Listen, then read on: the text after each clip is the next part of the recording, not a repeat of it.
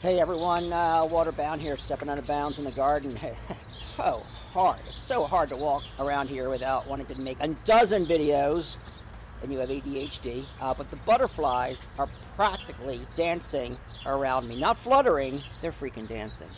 Pollinators in action. Okay, right here is Echinacea. All right, say with say that with me again.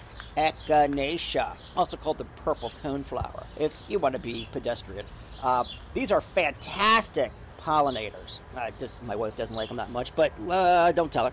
Don't say I said that. In the fall, the seed heads turn into essential food for birds like the American goldfinch, New Jersey state bird. I mean, they go crazy for them. Even if the plants look scraggly and they, you know, it's, it's they, they look dead, it's food, right?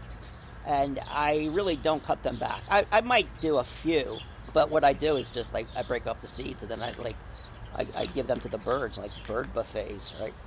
Uh, native versus non-native plants. Now, here's a little tip for for y'all. Um, sorry, I'm, I'm from New Jersey. I shouldn't be talking like that. Uh, there are lots of cultivators of echinacea. You see them in these fancy, obscure techno colors. They, they actually turn my stomach a little bit. Um, frilly petals, but they're not truly native. And you know what? They're almost like hybrid mutants. They're pretty, mm, kind of, but not really useful to wildlife based on what I've been reading. And so you want to stick stick to the natives, right? And then there's this the, the, butterfly bush. Butterflies like it the same way kids like candy or addicts like junk food. Uh, it doesn't support caterpillars or the larger ecosystem, and it's it's invasive, right? They, they, they get food from it, just like you can exist on like Snicker bars for a while, but you don't want to make a daily diet of that, right? 24 7. Uh, admit though, I have two of them. I have a dwarf one and another one. I keep it I keep it trimmed, but I'm slowly weaning them out in favor of the native plants that actually feed the whole pollinator life cycle. Not a single caterpillar makes their home out of a butterfly bush. Oh, it's not that good, people. All right, garden philosophy. Stick with natives whenever you can.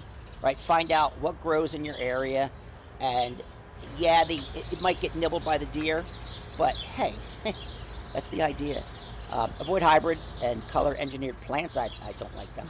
If your goal is to support your local ecosystem, beautiful gardens are great, but healthy gardens are better.